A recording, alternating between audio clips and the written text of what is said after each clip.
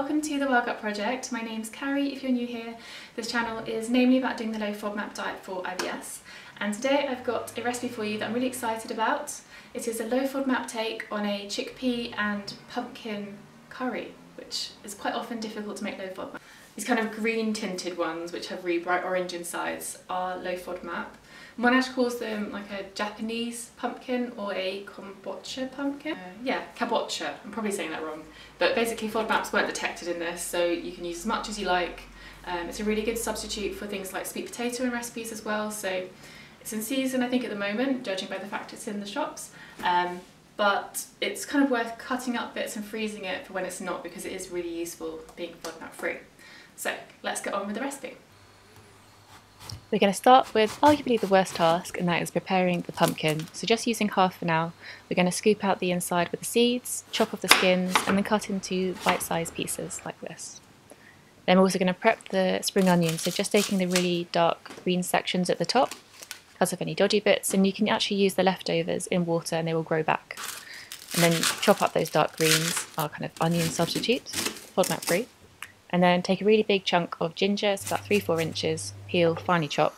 And then moving over to a large pan, we're going to melt some coconut oil and add that ginger and spring onion. And this is our really flavourful base for the curry.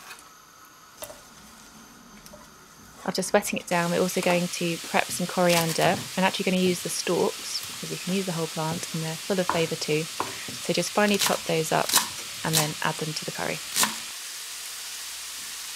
We're also going to add 10 curry leaves a teaspoon of turmeric, and then a little pinch of cinnamon.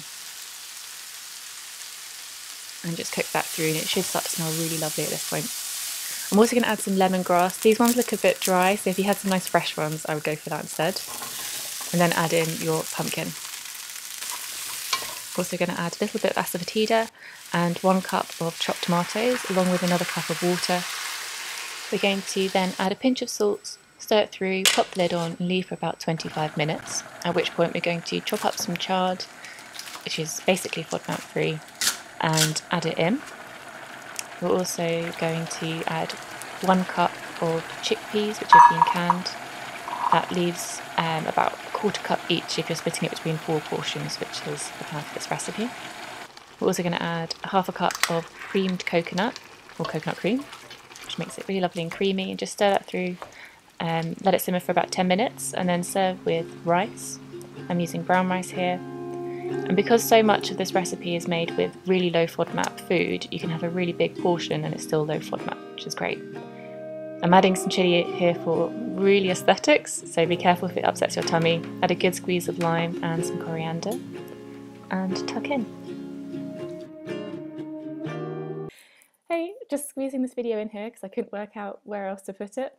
Um, I have a little announcement. Very recently, I received an unconditional offer to study um, to do a master's in dietetics. So, in about two-ish years, I will be a registered dietitian. Ah, so exciting!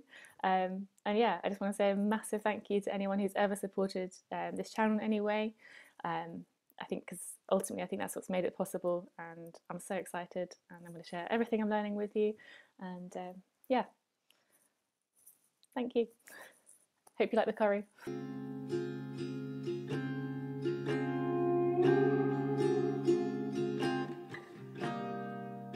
If you want to give it a go, I've written up the recipe on my website and I've linked it in the description down below. Um, but yeah, let me know if you do give it a go and you like it, and I'll see you in the next video. Bye!